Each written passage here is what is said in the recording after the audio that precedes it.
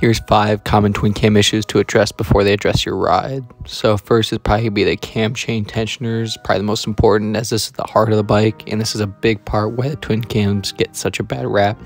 But if you do your maintenance right, you should have no issue with them.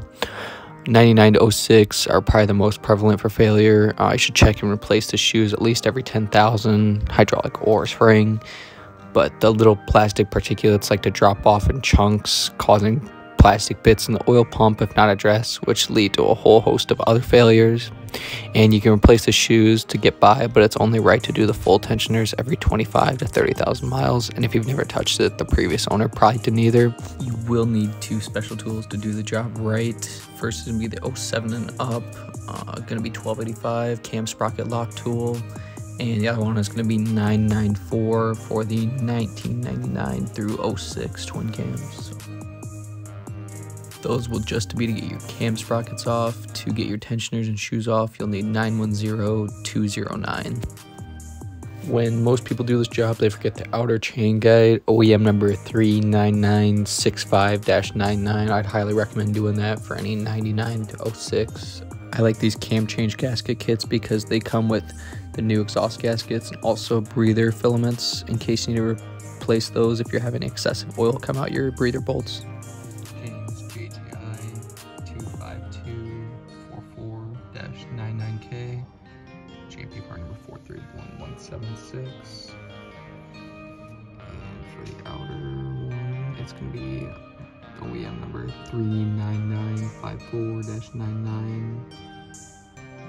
J&P part number 433482. Mid USA part number 66000.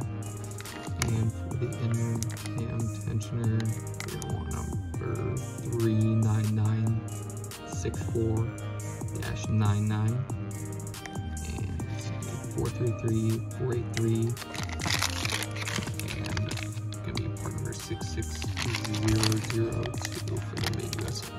Dependent upon riding style, you may be able to get 10,000 miles out of the shoes, but I definitely replace the tensioners every 25 to 30,000 miles just to be on the safe side. The 07 and up style tensioners are definitely a step up, but you definitely shouldn't neglect replacing your tensioners because they still are known to go bad every 40,000 miles and you can go with Feuling or looks like S&S has some with a thicker shoe. Make sure the cam plate isn't bowed, which is extremely common on the sand cast OEM plates. And when you're just replacing shoes, even if you're on a budget, it's probably wise to check your oil pump gear rotors for wear and have one on standby for replacement and most likely it'll be worn because its entire life has been riding on an out of true crankshaft. Better replace a $150 oil pump than pay $250 and another 500 in labor to do the same thing all over again. You must check your crankshaft runout before making any cam or performance choices. Also keep in mind when you install any performance products as an installer, it's your responsibility to calculate and check coil bind, valve to valve clearance, valve to pistons clearance, open, close durations, valve lift, and lift at top dead center so you don't have a piston kiss your valve. Chain drive cams give much more leeway on the crankshaft runout. This is the biggest factor when choosing chain or gear drive setup. Your crankshaft must have less than 3 thousandths run out for gear drive setups, and 12 thousandths is the serviceable Harley limit for the crankshaft altogether. So before you think big cam, you might be thinking big bottom end. If you really care for your bike or your customer wants a bulletproof upgraded setup, you can install or build your own hydraulic conversion kit, which in short means you can convert your 99 to 06 spring tensioners to hydraulic 07 to 17 with just a plate and oil pump combo from Screaming Eagle, or you can do an Andrews conversion kit. Some people like the Feuling kits because of their price point and inclusivity of all the parts required.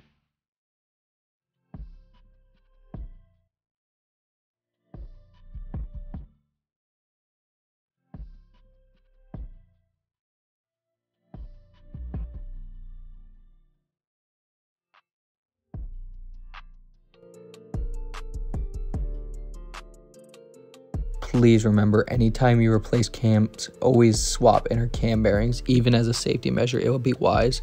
You absolutely don't want one of these little rollers to seize up to then seize your entire cam chest kit. Jims has additional rollers than OEM, so I prefer those. Otherwise, uh, Feuling cams install kits include these, along with the necessary gaskets and new ARP hardware. 99 to 06, it's OEM 9198, and the installer being 1278, and the cam bearing puller being 1279 Jims. For the 525 and 543 kits, they claim no headwork along with S&S's 509 and 510. I think they're absolutely full of it. And your 20 plus year old valve springs and heads are not going to be able to keep the valve seat pressures needed of those big cams down. If you're going with any upgraded cam setup, go with your cam specific high lift valve springs. If you were going the Feuling route, there's Beehive valve springs and guide seals. And if you really want to bulletproof it, there's the Gorilla rocker arm or the Feuling S&S Guardian kit because the heads are so weak already. The HP Plus lifters are good for an adequate oil feed, and ARP studs for cylinder and head bolts to keep the top from popping off. Manufacturer number 3000.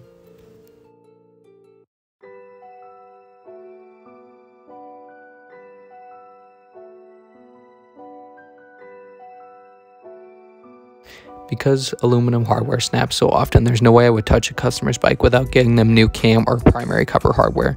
The immense vibration of Harley's and poor aluminum quality has the amazing ability to weld itself together and snap when you go to service it. Gardner Westcott kits are the cheapest insurance to keep from drilling and rethreading in and out of your bike. I choose Gardner Westcott, which is probably the best bang for your buck, or there's Colony. I don't think their chromed hardware holds torque very well. If you're a baller, then there's Feuling ARP hardware to get 10 points on everything, so you never have to worry. While hydraulic are supposed to be a step up from spring loaded, they still have been known to fail at 40,000 miles. I would recommend checking them at most every 10,000 miles because this is a big weak point in the twin cam motor, especially with the neglect of maintenance that Harley seem to incur. While you've already opened the primary to get the camshaft timing correct, the K-Star crank wrench for 07 to 17 comes in handy for turning the motor over, and you might as well replace the timing tensioner. Big Twin 65 through 2000 OEM reference number is going to be 39 976-65B. And then for 01 to 06, it's going to be 39976-01. If you have some more horsepower or your shoe cracked, which is very common on the 01 to 06, you may want to run an upgraded Hayden tensioner M6BT01 if you had no luck with the auto tensioner because some people say it adjusts far too tight causing extra primary engine and transmission wear you may want to try the hayden screaming eagles manual. One is not that popular among enthusiasts for the same issues as the auto excessive noise and component wear. The baker compensator and attitude tensioner are a great combo to fix the compensator issue and primary tension problem feel any excessive vibration coming from the engine to the drivetrain, the first thing I would replace is your rubber mounted engine mounts. Gonna be the same 80 to 2008 FLT and also uh, your FXR. And OEM reference number 16207-79B.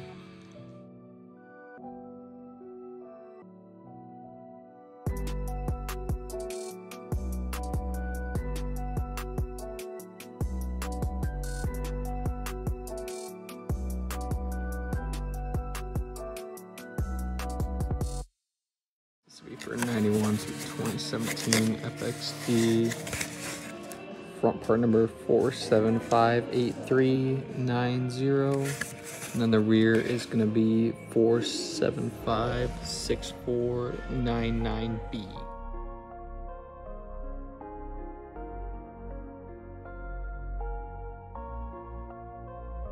only recommend alloy art. Um, dampeners, uh, HD1 is going to fit uh, 87 through 17 Dyna slash Wide Glide, and then also to be Softail 86 through 17, except for the uh, 11 through 13 Black Line, Deuce, and what's it, Dyna.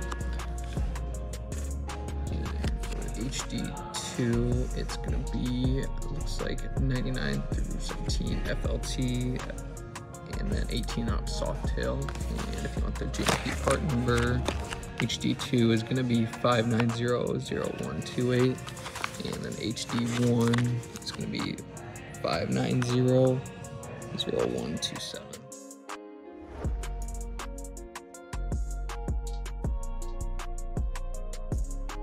Then if you have an 09 through 22, Alloy Art also makes good swingarm reinforcement to keep the rear motor mount firm from walking out under hard turns.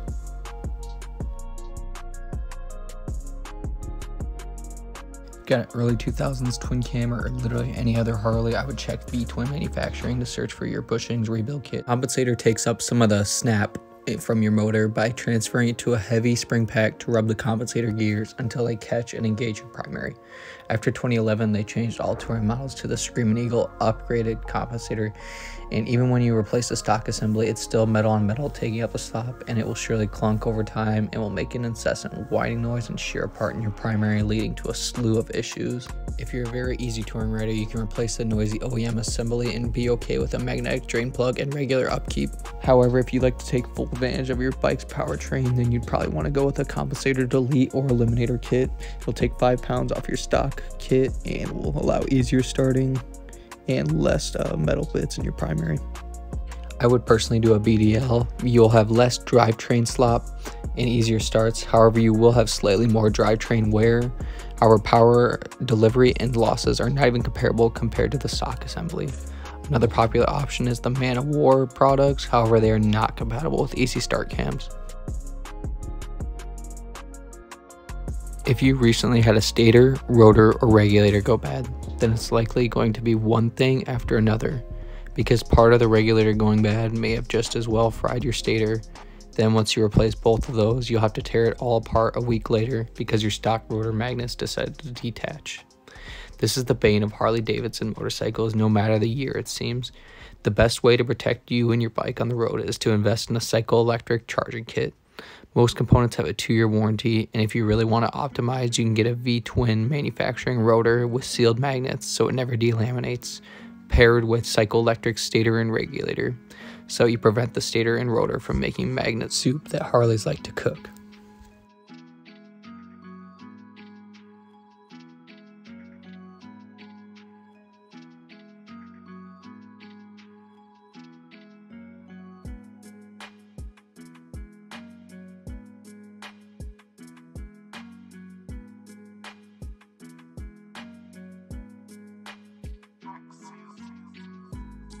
Finally is your clutch or driveline components.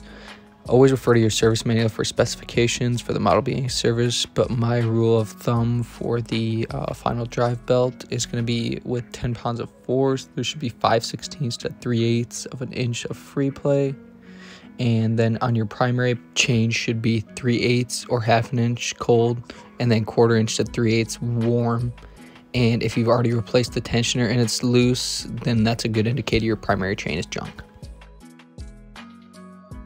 Anytime you open the primary to take the chain off, spin the clutch to visually inspect the run out of the clutch hub and shell. Inspect the bearing and the splines because they're known to shear off under torque. In that case, replace the inner clutch hub and the outer clutch shell. Also inspect the inner clutch hub teeth to make sure they didn't get eaten off by the clutches. The primary bearing is also a failure point for any year Harley, especially with your inner clutch hub. Another thing with 99 to 06, you should definitely inspect your starter ring gear for any abnormal wear. And if you need to replace them, count them out for the perfect fit.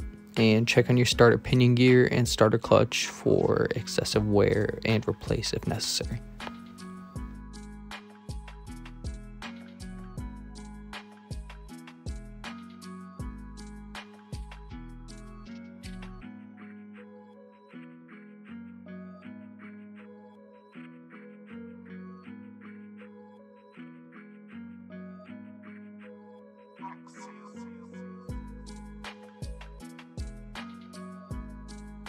Also, if you had clutch issues, you will surely want to replace your primary bearing, as this surely took some abuse as well, with either the Jim's primary bearing upgrade or the All Balls bearing seal replacement kit to avoid any further damage to the primary components, which can lead to transmission and engine bearing failures if not addressed. I recommend replacing your primary bearing anytime you need to take off the inner primary cover because it likes to start squealing on you for no reason, just like a true hog late Evo or early twin cam, I recommend all balls. Um, wide bearing seal kit. Got everything. Some brands will charge you 35 bucks for just that inner race. And if you got a high performance application, as far as mine, I would definitely go with the 25 millimeter double row bearing upgrade. Jim's part number A960. There's a replacement seal, if you ever need that in the future. And 06 07. um, I would probably recommend that V-twin manufacturing kits. It just comes with that primary seal and also comes with main shaft seal and all your new bearing and race. And finally, I would go with the all balls for 08 and up. And that's got everything, including the inner race. And then you just want your gasket, inner primary gasket. This is if you replace any stator or anything like that too. Anytime you take off the inner primary and for 06 to 85 it's to be this one the lock tabs and you new lock tabs anytime you take off your primary for those models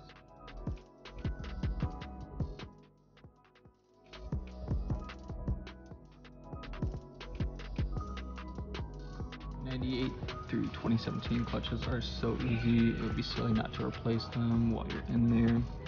It's just six 10 millimeter bolts, OEM 2980, no compressor needed uh, unless you have a 90 through 97 FLH, OEM reference 385 1A. You need some snap ring pliers.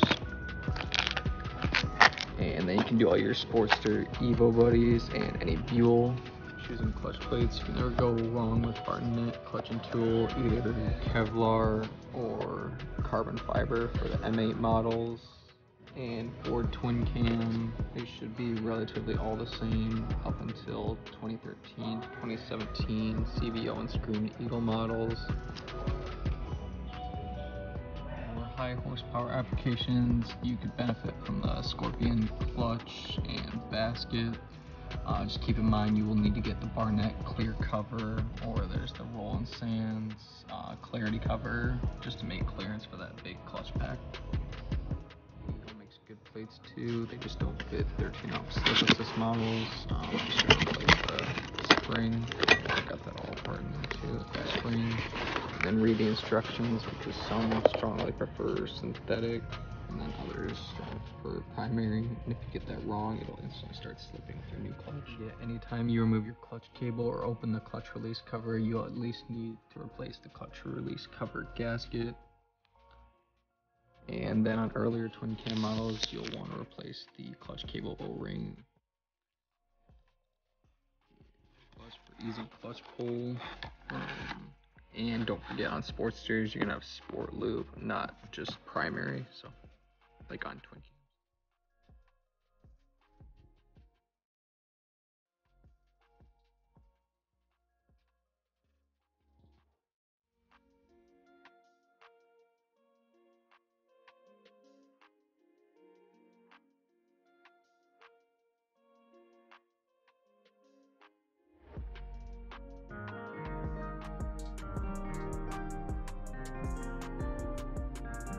ABS wheel bearings, I recommend changing them every tire change, if not every other, just because of how prone they are to failure.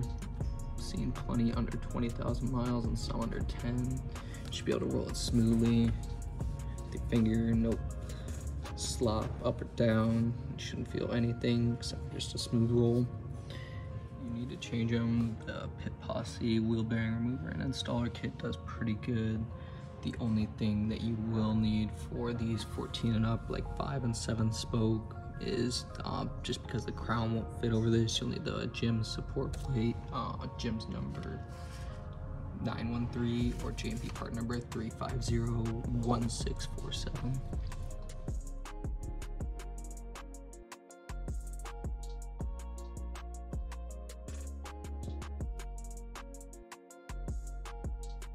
They conveniently remove the neck Zerk fitting so you can't grease your neck bearings without taking your entire fairing apart and removing both the top and bottom.